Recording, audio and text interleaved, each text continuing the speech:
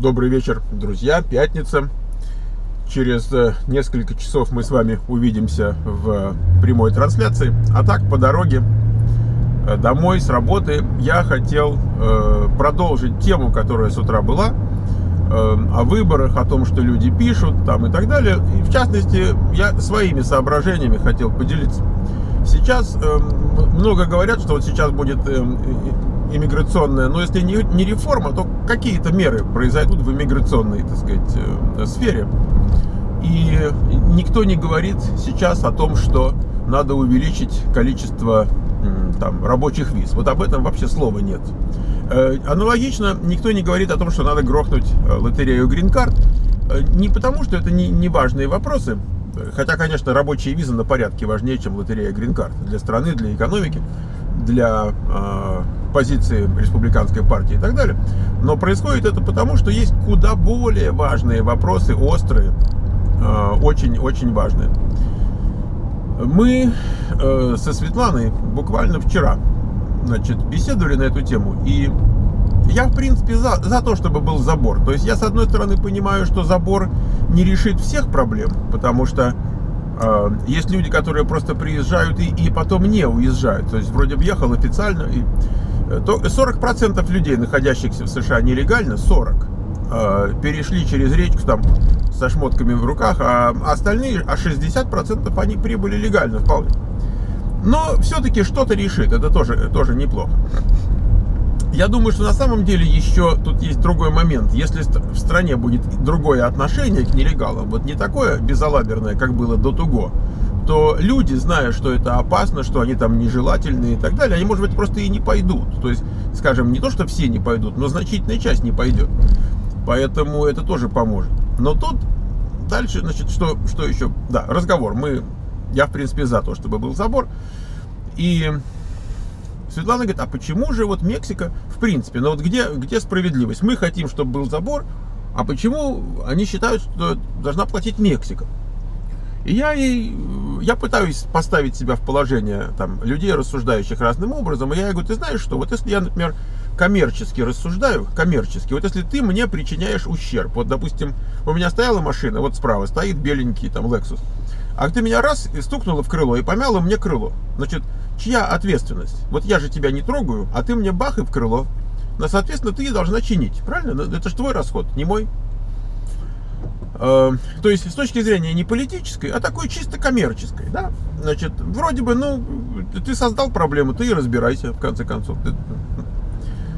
Э, тем более мы же знаем, как жестко, жестоко, не то что жестко, жесточайшим образом, как Мексика защищает свой рынок труда, когда туда идут люди из Гондураса, Сальвадора, там, Доминиканской республики и так далее, что они там с ними творят. Это вообще отдельная история. Но дальше что? Дальше так немножко время прошло, с утра я просыпаюсь, и тут у меня другая мысль. Это не хорошая аналогия, она неправильная. Неправильная она в том смысле, что Соединенные Штаты фактически э, зазывают как бы этих людей. То есть нельзя сказать, что идет какая-то пропаганда, что вот там приходите к нам. Но, но по факту как бы, ну да, так же оно и есть. Бездействие такое. У нас же есть законы, по которым э, нужно наказывать, нужно, по закону нужно наказывать, штрафовать э, работодателей, которые берут на работу нелегалов. В частности, вот Трампа самого, ну, его предприятие, значит, его когда-то оштрафовали за то, что у него там работало тысячи человек нелегалов. Значит, э,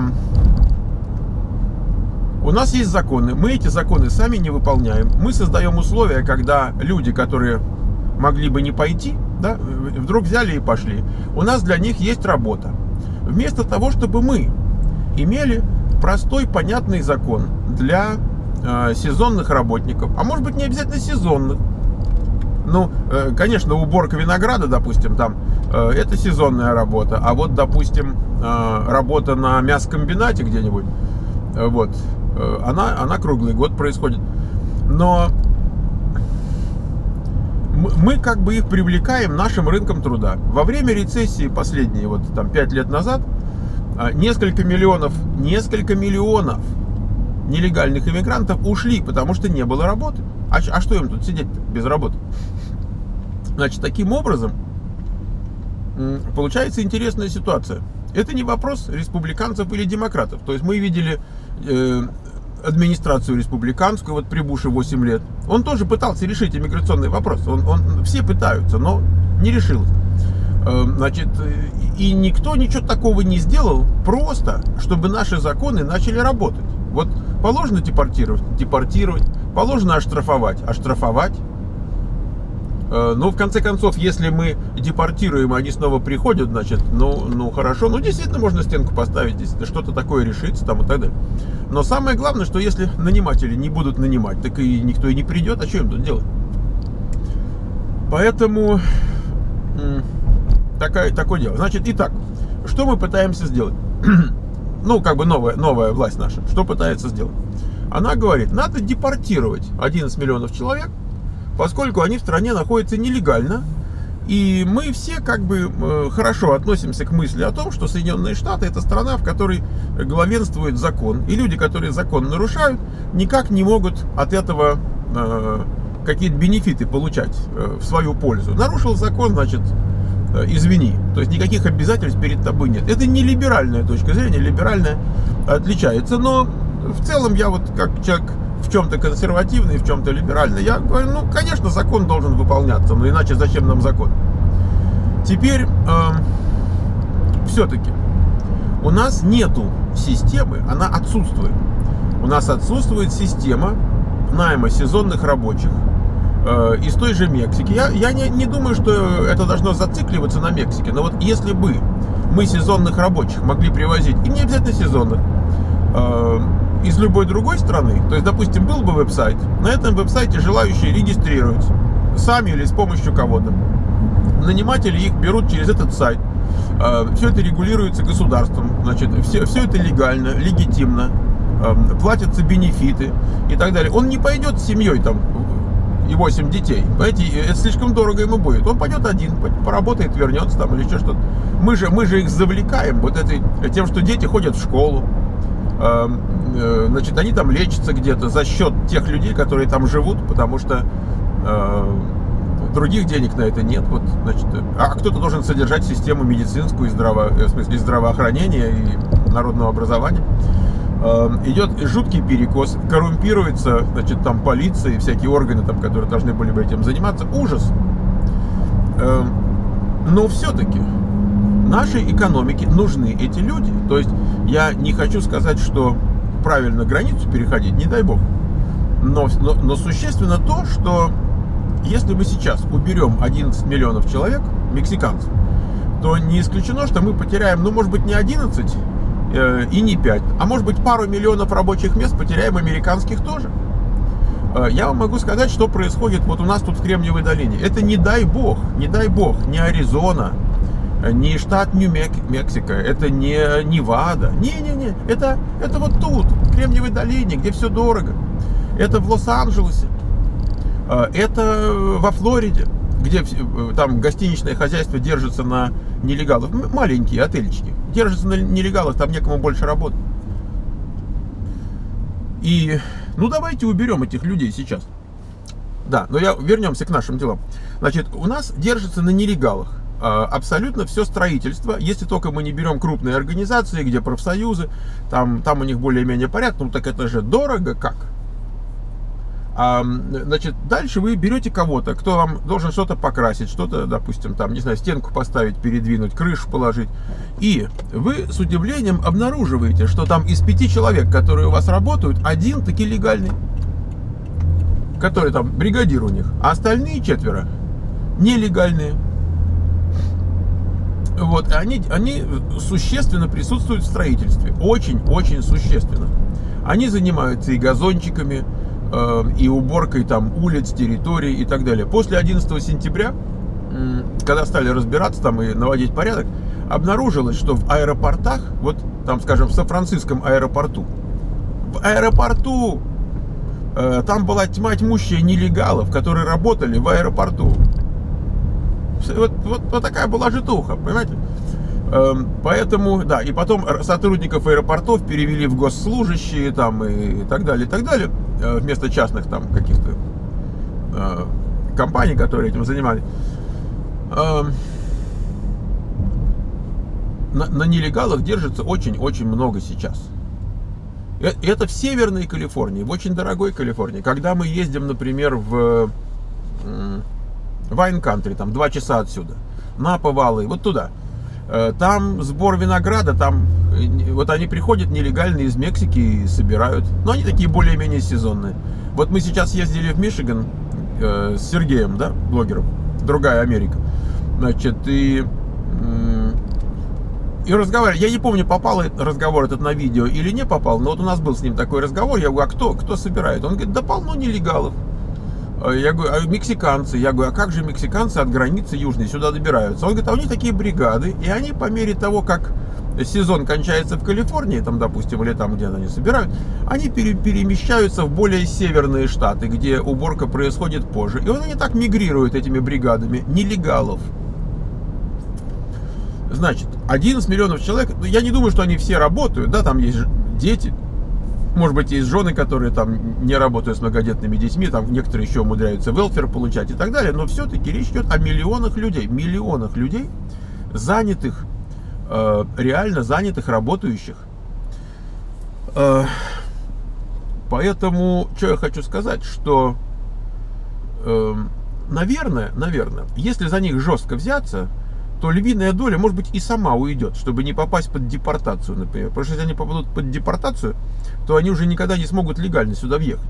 Это лишает их возможности. Если они сами так потихонечку э, уедут, а потом у них появится возможность легально попасть, да, когда будет система, когда можно легально. Но что я хочу сказать, системы этой сегодня нет. Я против экономии на рабском труде вот этих нелегальных э, людей. Им не доплачивают. Э, может быть, там фрукты, я не знаю, овощи немножко дешевле. Э, я, я не против, чтобы они были дороже на 30%, например, или даже на 50%. И может быть и вдвое. В конце концов, оно не стоит так много. Э, в смысле, в бюджете семьи. Там, но чтобы было по-честному, раз. Чтобы люди не были в, униз... в положении униженных и оскорбленных, два чтобы они сюда не ехали на велфер, а, чтобы мы помойку из страны устраивали, три, чтобы это не было ограничено чисто Мексикой, пусть из Узбекистана приезжают. Чего им обязательно в Москву, что ли, ехать? Пусть к нам приезжают сюда, полно работы. Чем они-то хуже? Вот вы, те, кто живете в Узбекистане, в Таджикистане, в Киргизии, э, скажите, что люди мы не поехали? Если бы официально чин-чинарем приехал, поселили, зарплату платят как положено, там не меньше, чем э, минимум вейдж. Да вы чего? Вот, поэтому э, э, вот эти крики, особенно когда крики, это совсем плохо. Ну, даже спокойное обсуждение на уровне э, не пущать депортировать, э, какие-то репрессивные меры там и так далее.